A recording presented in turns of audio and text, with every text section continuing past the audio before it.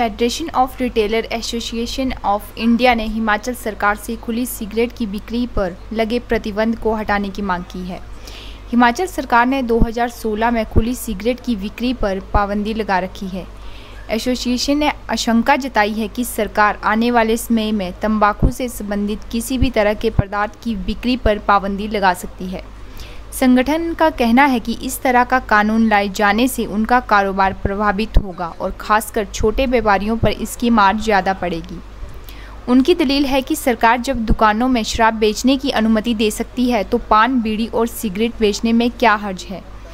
Federation of retailer association के हिमाचल अध्यक्ष राजकिशोर ने बताया कि तंबाकू जनित उत्पादों पर सरकार को एक सौ अठासी प्रतिशत टैक्स दिया जाता है। इसके बावजूद इन उत्पादों को बेचने की अनुमति नहीं है। अगर सरकार और सख्त कानून लाती है तो उनका कारोबार चौपट हो जाएगा और लाखों लोग बेरोजगार हो जाएँगे। छोटे छोटे दुकानदार हैं, उनको इसको कहते हैं, वो इसको कहते हैं तंबाकू का जो कारोबार करते हैं, उनको तंग ना किया जाए। दूसरा नंबर इसका सुनने में ये आया है कि इसको कहते हैं जो तंबाकू बेचेगा वो ब्रेड ब्रेड या कोल्ड ड्रिंक अंडा दूध ये कुछ नहीं बेच पाएगा। तो उसके लिए हमारी सरकार से ये प्रार्थना है कि हमारे जैसे छोटे छोटे दुकानदार हैं अगर ये सब कुछ नहीं बेचेंगे तो उनकी रोजी रोटी कमाई कुछ नहीं हो पाएगी। अनुमति और उसके लिए हमारे को अनुमति दी जाए कि जो इसको कहते हैं वहाँ पर इसको कहते हैं जो कॉन्फेक्शनरी का सामान बेच रहे हैं उनको तंबाकू का बेचने की इजाज़त दुकान के अंदर दुकान के अंदर ऐड किया जाए ताकि इसको कहते हैं हम ऐड करके लोगों को बताएँ कि इसको कहते हैं ये हमारे दुकान पे ये चीज़ें मिलती मिलती है।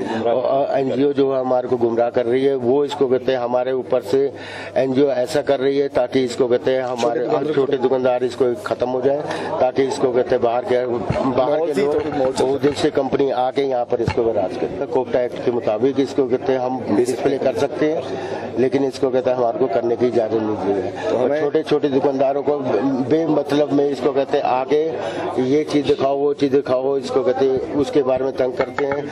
हम लोग इसको जीएसटी इसको कहते हैं एक परसेंट टैक्स इसको कहते हैं तंबाकू के ऊपर देने के बाद भी इसको हमारे लोगों को छोटे छोटे दुकानदारों लोगों को या हम लोगों को इसको तंग किया जाता है। शिमला से योगराज शर्मा की रिपोर्ट।